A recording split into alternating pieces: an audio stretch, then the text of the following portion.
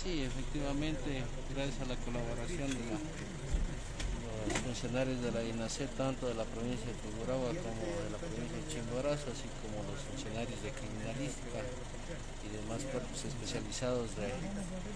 la Policía Nacional, se ha logrado ubicar este, la persona o el cadáver de una persona que fue reportada como desaparecida. Eh, pese a que la denuncia se la puso hoy en la provincia de Tungurahua, he hecho la coordinación pertinente entre los funcionarios, como dije anteriormente, tanto de la provincia de Chimborazo como de Tungurahua y se logró localizar la lamentable pérdida de una persona de sexo femenino. Doctor, en cuanto a lo que tiene que ver al hallazgo mismo, eh, ¿bajo qué circunstancias es la que eh, le encuentran ustedes? Gracias a la información incluso de la persona que presuntamente había actuado en este hecho, se llegó a, determinar el lugar exacto donde se procedió a hacer el levantamiento de cadáveres. Y posterior las diligencias de ley con el fin de realizar una, formulación de cargos por parte del fiscal especializado de la provincia de Tulguragua eh, en personas desaparecidas. Eh, en, este caso hay una, persona que está detenida, ¿tiene algún tipo de vinculación con, la Oyoxis? Una aprendida, como le dije anteriormente, el fiscal encargado de este caso ya sabrá determinar este, la relación o, no relación entre la Oxisa y la persona aprendida, pues yo soy el fiscal de flagrancias del Cantón Ambato que viene al levantamiento de cadáver aquí. Denunciada como desaparecida, ¿qué se nos puede informar, por favor? Sí, este es un caso que tuvimos conocimiento como Policía Nacional desde el día sábado anterior. En primera instancia se reportó la desaparición de una joven de 20 años que habría salido de su domicilio en horas de la mañana y se desconocía su paradero.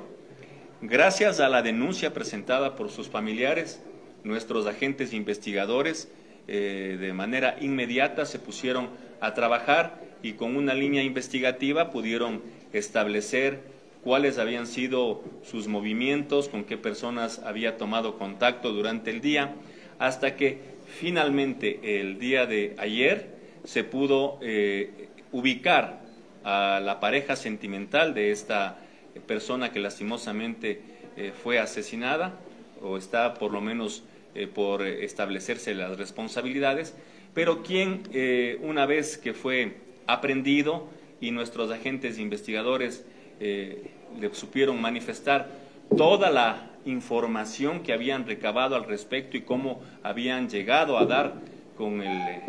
posible causante, pues no tuvo más que confesar el hecho, indicando que producto de los celos había procedido a envenenar a esta persona, eh, a su pareja sentimental, la cual falleció producto de la ingesta de un veneno. Y una vez que la persona falleció, él eh, se trasladó hasta la provincia del Chimborazo porque este hecho se suscitó aquí en la ciudad de Ambato, se trasladó en su vehículo llevando el cuerpo de esta persona hasta una localidad de la provincia del Chimborazo en donde en un bosque procedió a enterrar el cuerpo sin vida de su pareja y eh, pues fue un autor confeso del, incidente, el cual eh, nos guió hasta el lugar preciso en donde se había procedido a enterrar a su pareja sentimental y pues procedimos nosotros a retirar el cuerpo de esta persona que está en estos momentos ya realizándose la autopsia de ley.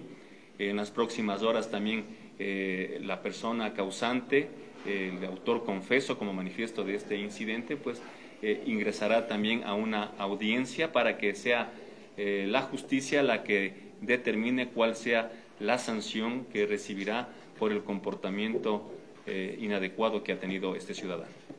¿Se conoce si la víctima fue obligada a consumir el veneno o lo hizo de alguna manera en la que la no pudo notar que estaba siendo envenenada? Bueno, de los primeros indicios que hemos tenido y que está por verificarse eh, sobre la base de los procedimientos técnicos científicos de investigación que manifiesto en cuanto tiene que ver a, su eh, autopsia médico-legal que determinará exactamente las causas. Sin embargo, dentro de las versiones dadas por el autor confeso de este hecho indicó que eh, había preparado una bebida en la cual había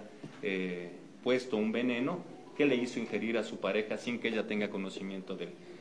eh, de, lo, de lo preparado. Los familiares advierten de que no habría actuado solo, sobre todo llevando el cuerpo hacia el sector de Chimborazo. Coronel, ¿se tiene algún conocimiento, algo con relación a esto? Bueno, al respecto todavía estamos en la fase de investigación. Si se tiene algunos indicios que nos lleven hacia esa actividad, pues lógicamente eh, lo realizaremos. Estaremos eh, muy atentos a lo que vaya eh, suscitándose en cuanto a las investigaciones. Pero de momento lo que conocemos es que él fue la persona que trasladó a el cuerpo de la persona que falleció hasta la provincia del Chimborazo y él fue el que se encargó de enterrar el cuerpo. ¿Se conoce el día exacto en el que se habría cometido el crimen? Bueno, como les manifiesto, eh, la persona que confesó el, el, hecho, él manifestó que el día anterior había realizado esta actividad, sin embargo, eh, tenemos un, lapso de tiempo entre el día sábado que desaparece la persona hasta el día de ayer en la noche, cerca de la medianoche en la que pudimos desenterrar el cuerpo del el lugar donde que había sido enterrado. Y pues según manifiesta el, el, autor confeso del caso, el mismo día sábado habría trasladado a la persona para enterrarle en esta localidad de la provincia de Chimborazo.